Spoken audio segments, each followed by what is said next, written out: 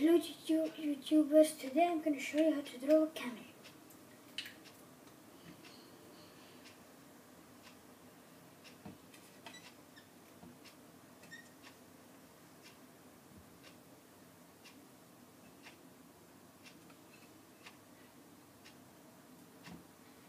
And you must just button here a little